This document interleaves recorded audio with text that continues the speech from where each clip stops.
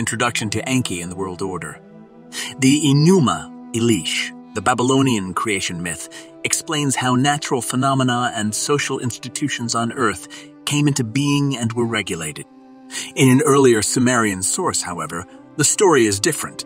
Everything is established by the god Enki, the clever craftsman who presides over the life-giving fresh waters, the patron of crafts and arts, magic and wisdom. In this myth, Enki blesses the cities of Nippur, the place where the gods are born, Ur, Meluhha, and the Indus Valley, and Dilmun with abundant crops, flocks, precious metals, and success in war. Then he organizes the sea, rivers, clouds, and rain, turning the barren hills into fields and creating the rivers Tigris and Euphrates by filling their beds with a stream of his own semen. Enki also makes the sheep, cattle, and crops multiply and establishes the skills of building and weaving. As he creates each domain, Enki appoints a god or goddess to supervise it. When he has finished appointing the gods their domains, Inanna approaches Enki and complains to him that he had failed to give her a domain. Enki responds by listing numerous powers and domains possessed by Inanna, adding each time young Inanna, What more could we add for you? Finally, Enki says to the maiden goddess, Inanna, you have the power to destroy what cannot be destroyed and to set up what cannot be set up. Now begins Enki and the world order. Glorious Lord of heaven and earth, self-reliant Father Enki, engendered by a bull, begotten by a wild bull, cherished by Enlil the great mountain, beloved by holy An king, Mes-tree planted in the Abzu rising over all lands, great dragon who stands in Eridug, whose shadow covers heaven and earth, a grove of vines extending over the land, Enki, lord of plenty of the Nuna gods, Nudimmud, mighty one of the Ekur, strong one of heaven and earth. Your great house is founded in the Abzu, the great mooring post of heaven and earth. Enki, from whom a single glance is enough to unsettle the heart of the mountains. Wherever bison are born, where stags are born, where ibex are born, where wild goats are born, in meadows, in hollows in the heart of the hills, in green fields unvisited by man, you have fixed your gaze on the heart. Of the land like a hal-hal reed, counting the days and putting the months in their houses so as to complete the years and to submit the completed years to the assembly for a decision, taking decisions to regularize the days. Father Enki, you are the king of the assembled people. You have only to open your mouth for everything to multiply and for plenty to be established. Your branches green with their fruit, you do honor to the gods in its forests, is like a fleecy garment. Good sheep and good lambs do honor to you in the prepared fields. They will accumulate stockpiles and stacks. There is oil, there is milk, produced by the sheepfold and cowpen. The shepherd sweetly sings his rustic song. The cowherd spends the day rocking his churns. Their products would do honor to the late lunches in the god's great dining hall. Your word fills the young man's heart with vigor, so that like a thick-horned bull he butts about in the courtyard. Your word bestows loveliness on the young woman's head, so that the people in their settled cities gaze at her in wonder. Next two lines, unclear. Enlil, the great mountain, has commissioned you to gladden the hearts of lords and rulers and wish them well. Enki, Lord of prosperity, Lord of wisdom, Lord, the beloved of all, the ornament of Eridug, who establishes commands and decisions, who well understands the decreeing of fates. You close up the days and make the months enter their houses. You bring down, you have reached their number. You make the people dwell in their dwelling places. You make them follow their herdsmen. Next two lines, unclear. You turn weapons away from their houses. You make the people safe in their dwellings. When Father Enki goes forth to the inseminated people, good seed will come forth. When Nudimmud goes forth to the good pregnant ewes, good lambs will be born. When he goes forth to the fecund cows, good calves will be born. When he goes forth to the good pregnant goats, good kids will be born. If you go forth to the cultivated fields, to the good germinating fields, stockpiles and stacks can be accumulated on the high plain. If you go forth to the parched areas of the land, next two lines missing or unclear. Enki, the king of the Abzu, justly praises himself in his majesty. My father, the king of heaven and earth, made me famous in heaven and earth. My elder brother, the king of all the lands, gathered up all the lands, gathered up all the divine powers and placed them in my hand. I brought the arts and crafts from the Ekur, the house of Enlil, to my Abzu in Eridug. I am the good seaman, begotten by a wild bull. I am the firstborn of him. I am a great storm rising over the great earth. I am the great lord of the land. I am the principal among all rulers, the father of all the foreign lands. I am the big brother of the gods. I bring prosperity to perfection. I am the seal keeper of heaven and earth. I am the wisdom and understanding of all the foreign lands. Within the king on An's dais, I oversee justice. With Enlil, looking out over the lands, I decree good destinies. He has placed in my hands the decreeing of fates in the place where the sun rises. I am cherished by Ninetude. I am named with a good name by Nine Hersurjaj. I am the leader of the Anuna gods. I was born as the firstborn son of Holy An. After the Lord had proclaimed his greatness, after the great prince had eulogized himself, the Anuna gods stood there in prayer and supplication. Praise be to Enki, the much praised Lord who controls all the arts and crafts, who takes decisions in a state of high delight, Enki, the king of the Abzu, again justly praises himself in his majesty. I am the Lord, I am one whose word is reliable, I am one who excels in everything. At my command, sheepfolds have been built, cowpens have been fenced off. When I approach heaven, a rain of abundance rains from heaven. When I approach earth, there is a high carp flood. When I approach the green meadows at my word stockpiles and stacks are accumulated. I have built my house, a shrine in a pure place, and named it with a good name. I have built my Abzu a shrine in, and decreed a good fate for it. The shade of my house extends over the pool. By my house the Suhur carp dart among the honey plants, and the Ektub carp wave their tails among the small Gizi reeds. The small birds chirp in their nests. The lords bow to me. I am Enki. They stand before me, praising me. The Abgal priests and Abrig officials who stand before me in distant days. The Enkum and Ninkum officiants organize. They purify the river for me. In my Abzu, sacred songs and incantations resound for me.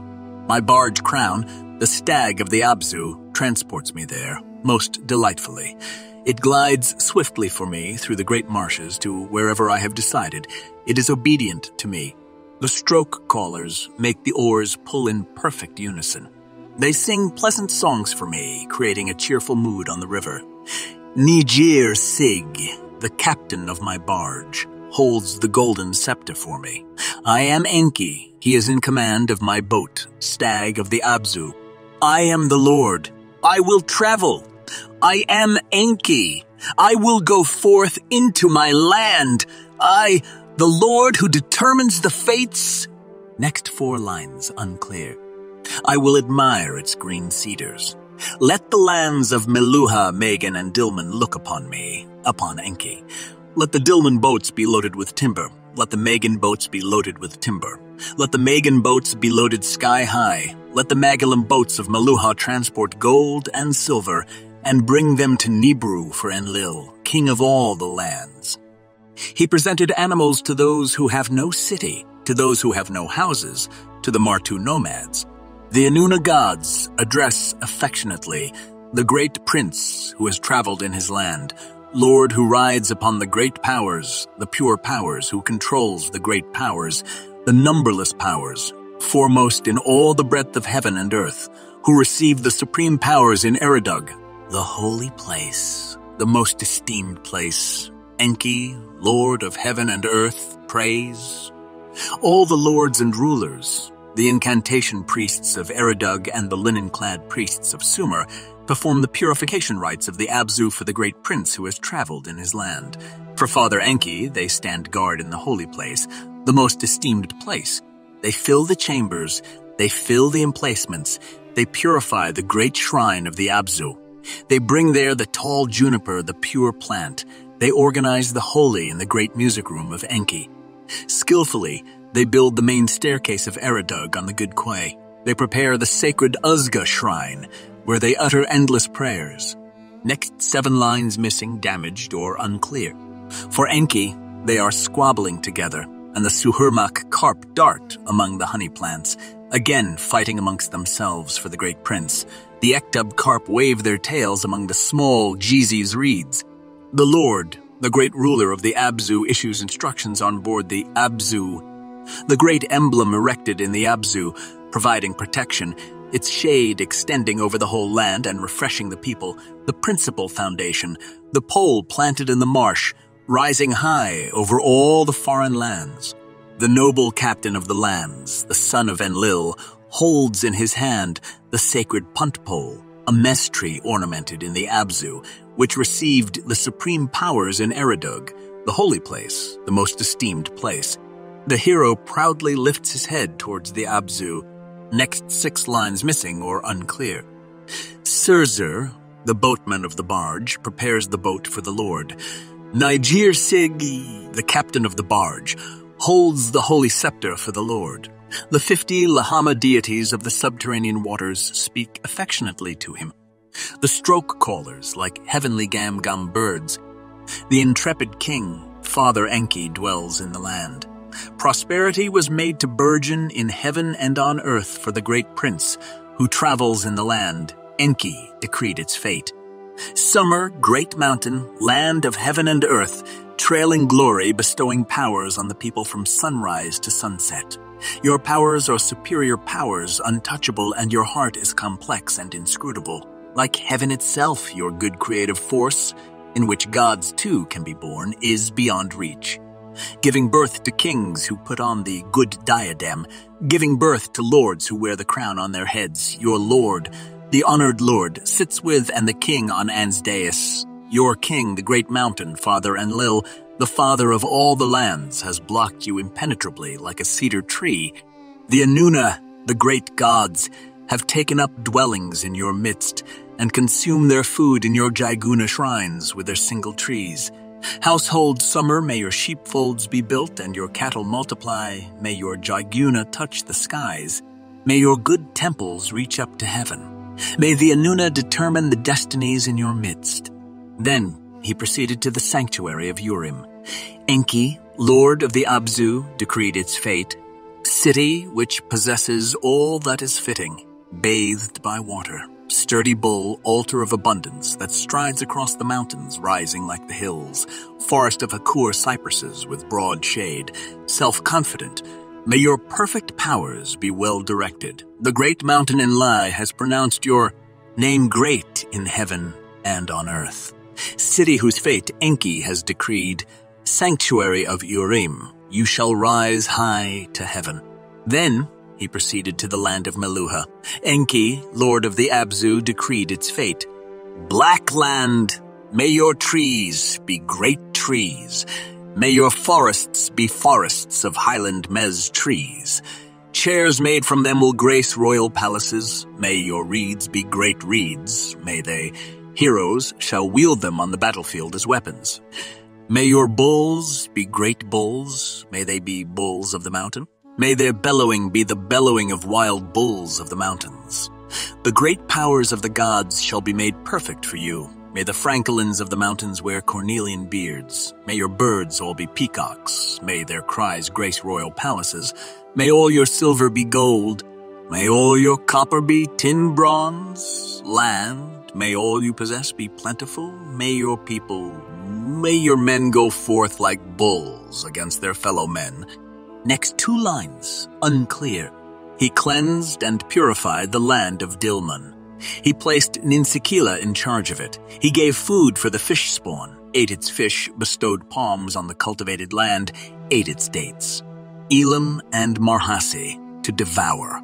The king endowed with strength by Enlil destroyed their houses, demolished their walls. He brought their silver and lapis lazuli, their treasure, to Enlil, king of all the lands, in Nibru. Enki presented animals to those who have no say, who have no houses to the Martu nomads. After he had turned his gaze from there, after Father Enki had lifted his eyes across the Euphrates, he stood up full of lust like a rampant bull. lifted his penis, ejaculated, and filled the Tigris with flowing water. He was like a wild cow mooing for its young in the wild grass, its scorpion infested cow pen, the Tigris at his side like a rampant bull. By lifting his penis, he brought a bridal gift. The Tigris rejoiced in its heart like a great wild bull when it was born. It brought water, flowing water indeed. Its wine will be sweet. It brought barley, mottled barley indeed. The people will eat it. It filled the Ekur, the house of Enlil, with all sorts of things. Enlil was delighted with Enki, and Nibru was glad. The Lord put on the diadem as a sign of lordship. He put on the good crown as a sign of kingship, touching the ground on his left side. Plenty came forth out of the earth for him. Enki, the lord of the destinies, Enki, the king of the Abzu, placed in charge of all this him who holds a scepter in his right hand, him who, with glorious mouth, submits to verification the devouring force of Tigris and Euphrates, while prosperity pours forth from the palace like oil. Enbilulu, the inspector of waterways. He called the marshes and gave them the various species of carp. He spoke to the reed beds and bestowed on them the old and new growths of reeds. Next, two lines missing. He issued a challenge. Enki placed in charge of all this him from whose net no fish escapes, him from whose trap no living thing escapes, him from whose bird net no bird escapes. Next one line unclear. They who loves fish. The Lord established a shrine, the holy shrine, whose interior is elaborately constructed. He established a shrine in the sea, a holy shrine whose interior is elaborately constructed. The shrine, whose interior is a tangled thread, is beyond understanding. The shrine's emplacement is situated by the constellation the Field. The holy upper shrine's emplacement faces towards the chariot constellation. Its terrifying awesomeness is a rising wave. Its splendor is fearsome. The Anuna gods dare not approach it to refresh their hearts. The palace rejoices. The Anuna stand by with prayers and supplications. They set up a great altar for Enki in the Iangura for the Lord. The great prince, the pelican of the sea, next one line unclear. He filled the Ekur, the house of Enlil, with goods of all sorts. Enlil was delighted with Enki, and Nibru was glad. Enki placed in charge of all this, over the wide extent of the sea, her who sets sail in the holy shrine, who induces sexual intercourse, who rules over the enormous high flood of the subterranean waters, the terrifying waves, the inundation of the sea, who comes forth from the sea, the mistress of Sarara, Nanshe. He called to the rain of the heavens.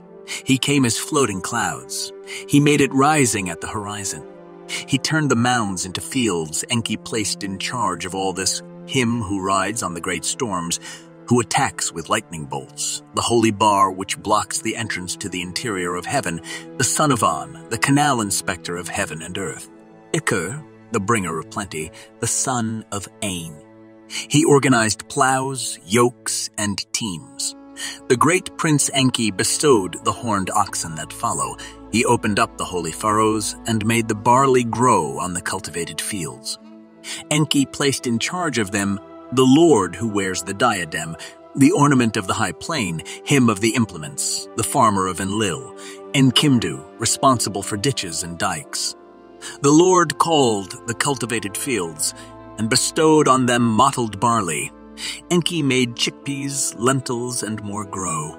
He heaped up into piles the early mottled and inuha varieties of barley. Enki multiplied the stockpiles and stacks, and with Enlil's help, he enhanced the people's prosperity. Enki placed in charge of all this her whose head and body are dappled, whose face is covered in syrup, the mistress who causes sexual intercourse, the power of the land, the life of the black-headed, Aknan, the good bread of the whole world. The great prince fixed a string to the hoe and organized brick molds. He penetrated the molds like precious oil. Enki placed in charge of them him whose sharp-bladed hoe is a corpse-devouring snake, whose brick mold in place is a tidy stack of hulled grain for the use. Kala, who makes bricks in the land, he tied down the strings and coordinated them with the foundations, and with the power of the assembly, He planned a house and performed the purification rituals. The great prince put down the foundations and laid the bricks.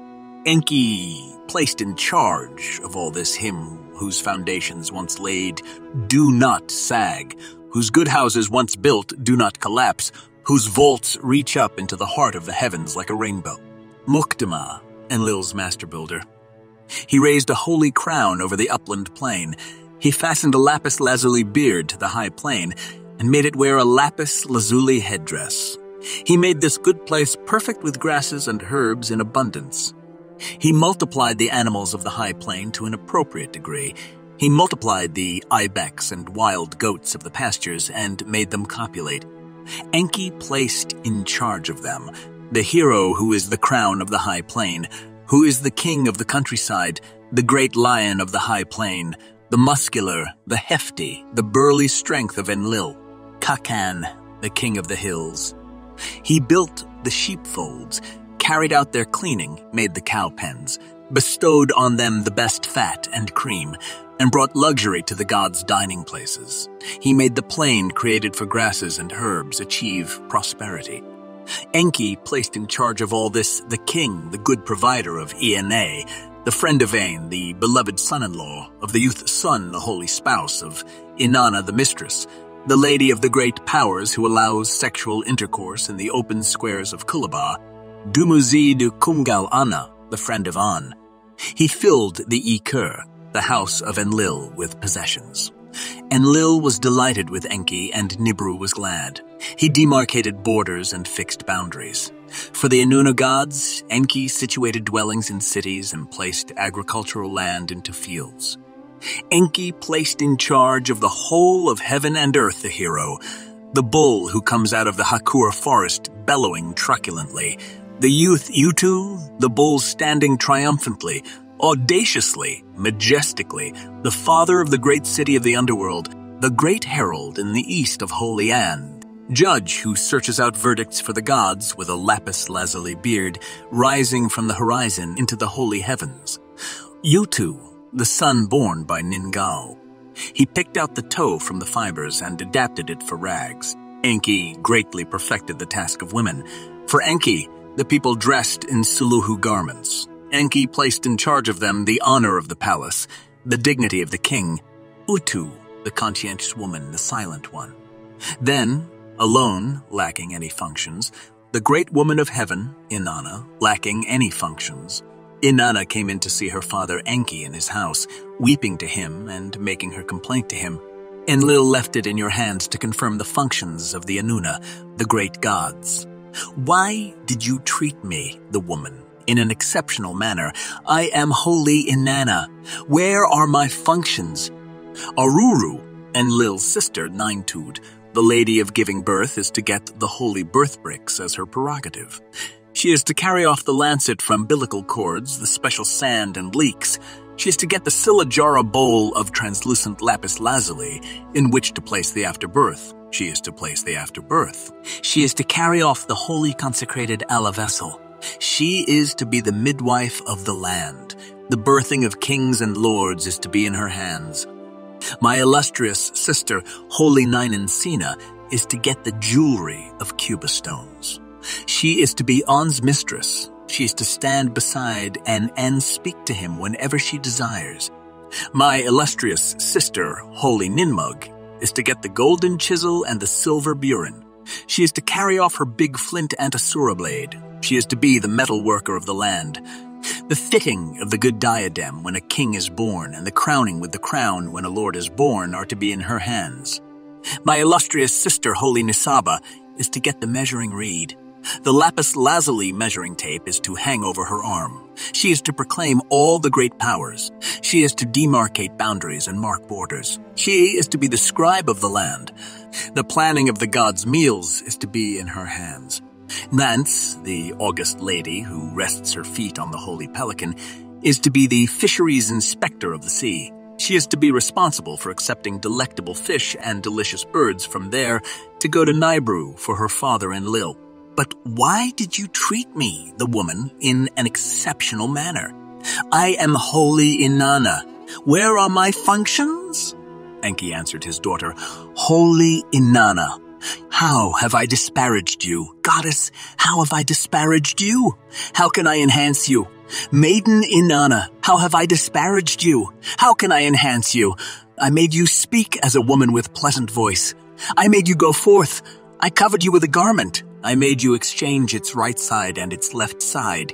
I clothed you in garments of women's power. I put women's speech in your mouth. I placed in your hands the spindle and the hairpin. I gave to you women's adornment. I settled on you the staff and the crook, with the shepherd's stick beside them. Maiden Inanna, how have I disparaged you? How can I enhance you? Amongst the ominous occurrences in the hurly-burly of battle, I shall make you speak vivifying words. And in its midst, although you are not an Araboo bird, a bird of ill omen, I shall make you speak ill-omened words also. I made you tangle straight threads. Maiden Inanna, I made you straighten out tangled threads. I made you put on garments. I made you dress in linen. I made you pick out the tow from the fibers. I made you color-tufted cloth with colored threads. Inanna, you heap up human heads like piles of dust. You sow heads like seed. Inanna, you destroy what should not be destroyed. You create what should not be created. You remove the cover from the sem drum of lamentations maiden Inanna, while shutting up the Taigi and Adab instruments in their homes. You never grow weary with admirers looking at you? Maiden Inanna, you know nothing of tying the ropes on deep wells. But now the heart has overflowed, the land is restored. Enlil's heart has overflowed, the land is restored. In his overflowing heart of mankind, next four lines unclear. Lapis, lazuli headdress, is your prerogative, is your prerogative, is your prerogative, is your prerogative. Next ten lines, unclear. Praise be to Father Enki.